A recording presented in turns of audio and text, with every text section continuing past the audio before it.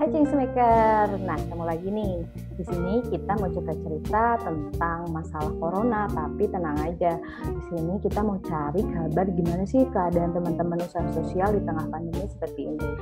Nah, daripada kepo, mending kita tanya langsung nih ke sumbernya yaitu teman dari Nikoa Coklat. Halo Kak. Gimana kabar teman-teman Nikoa? Baik Kak, Alhamdulillah baik teman-teman semuanya tapi kita tetap nerapin physical distancing meskipun sekarang udah harus balik ke kantor. Awalnya di minggu-minggu yang lalu kita nerapin WFH, tapi sekarang udah pada balik ke kantor lagi. Oh gitu, iya iya. Berarti kan kalau misalnya WFH, WFH untuk produksi masih jalan terus ya? Ya masih jalan. Nah untuk bagian tim produksi ini mereka yang nggak pernah WFH tapi kerjanya kayak dua hari sekali gitu datang ke kantor. Oh alah, iya iya. Nah kalau misalnya apa sih namanya lagi tau lah kita lagi susah keadaan kayak gini ya mbak ya. Maksudnya kena dampak nggak sih nih Koa kan uh, sebagai usaha sosial yang pemberdayaan petani lagi ya maksudnya gimana sih yeah. kabar dari petaninya kabar dari Nikoanya pasti ada cerita yang greget lah yang bisa disampaikan ke kita kita ini nih Iya benar. Jadi uh, menurut saya semua bentuk usaha baik usaha sosial atau konvensional semuanya terkena dampak ya. Salah satunya Niko Ajoka sendiri.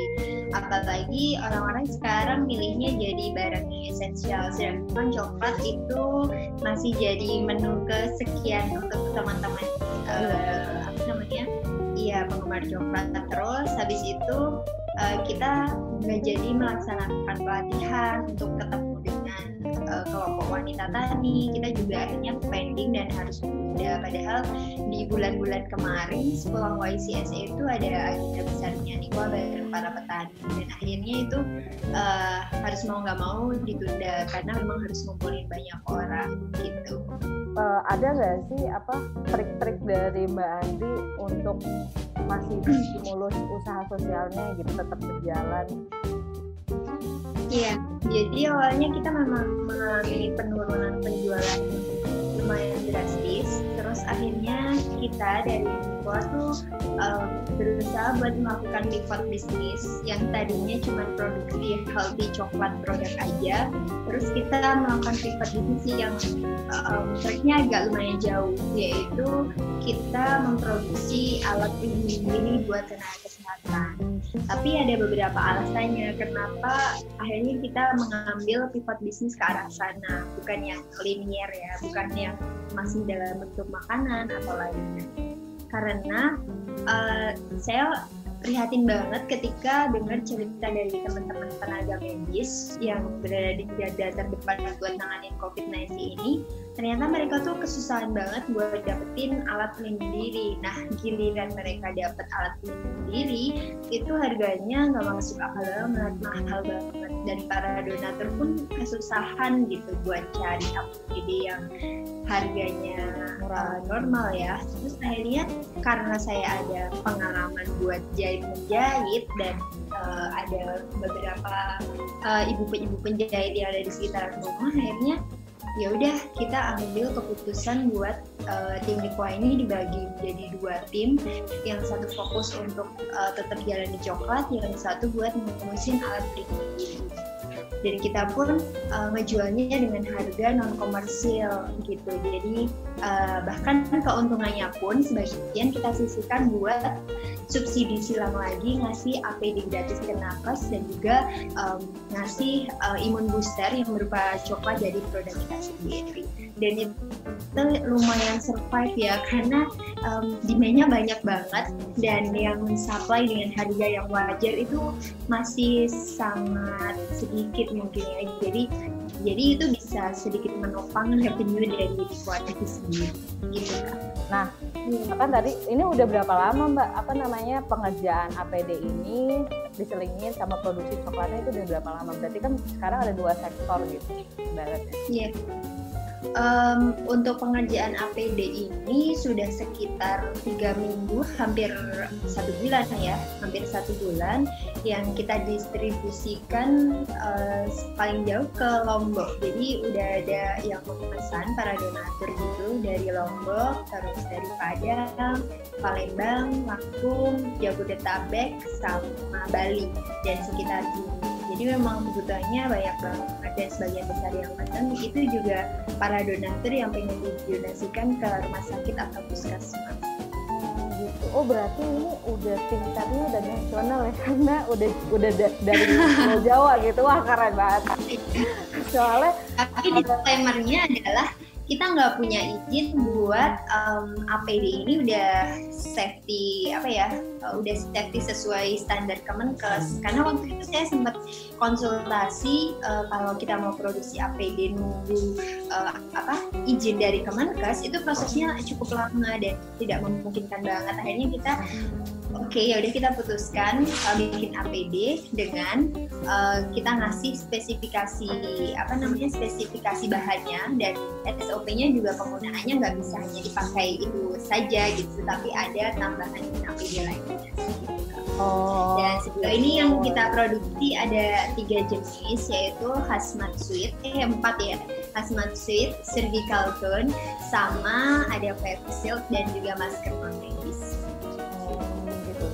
Nah berarti ini juga berarti menarik banget karena Mbak Andri ini ngangkat dari sisi pemberdayaan penjahit juga ya kan ya? Nggak cuma jual aja gitu loh nggak jual apa nggak cuma ya produksi aja. Nah uh, terus aku penasaran nih kan udah jalan sebulan tadi kan ini udah udah didistribusiin ke rumah sakit apa? Maksudnya kan kemarin juga katanya Mbak Andri lagi mau kirim-kirim itu tuh apa namanya APD. Nah itu tuh Mbak langsung kirim ke pembelinya, apa Mbaknya juga kayak kirim ke rumah sakit di sekitar apa gimana gitu? Uh, jadi tergantung permintaan dari para donaturnya. Ada donatur oh. yang menginginkan udah di plotting langsung dikirimkan ke rumah sakit atau oh. ke klinik. Ada juga donatur yang dia pengen nambahin berbagai macam bentuk uh, donasi lainnya, jadi dikumpulkan dulu di apa base camp mereka gitu. Dan kita juga uh, ada gratis ongkir kecuali ke Papua uh, ke seluruh Indonesia uh, untuk pengiriman yang ke rumah sakit atau ke klinik atau puskesmas gitu. Uh, apa ya? Kayaknya aku agak speechless sih karena uh, pengen banget bergerak juga kayak Mbak Andi, kayak terinspirasi banget gitu karena yang kita tahu tim medis selain tiga ada depan mereka juga jadi uh, orang dalam pemantauan yang ya termasuk orang dalam pemantauan gitu mereka di garda depan menolong dan mereka menjadi ODP itu sendiri ya kan ya uh, nah di sini ada nggak sih pesan-pesan untuk change maker atau enggak usaha sosial lainnya yang seperti Mbak Andri gitu yang ya sekiranya Mbak Andri harus semangatin gimana kita bareng-bareng melawan melawan si corona ini. Oke, um, menurut saya dari setiap masalah tuh pasti ada jalan keluarnya ya. Benar. Salah satunya si corona ini.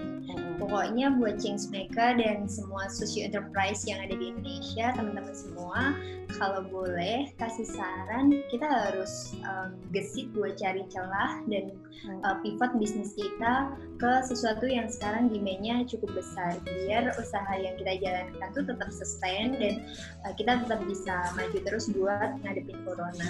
Menurutku nggak um, apa Uh, kita semua bisa kok berkontribusi melalui cara kita masing-masing. Apa pun itu untuk membantu pemerintah untuk berkontribusi uh, tanggap kepada COVID-19 ini itu banyak sekali hal yang bisa dilakukan bahkan oleh wirausaha sosial pun. Jadi uh, banyak banyak banget yang bisa kita kerjakan. Jangan sampai kita melewatkan uh, apa ya situasi seperti yeah. ini dengan hanya lewat aja gitu. Yeah. harus ada yang bisa kita kontribusikan. Uh, nggak cuma itu aja loh maker di sini juga dari campaign.com ada juga gerakan Indonesia lawan Corona. Nah jadi di Indonesia lawan Corona ini kita akan bantu korban-korban terdampak uh, eh, COVID-19 di Indonesia. Jadi uh, selain bisa membantu petani kakao, kita bisa bantu juga korban-korban COVID-19 di Indonesia. Jadi uh, sekian dulu kali ya Mbak ya.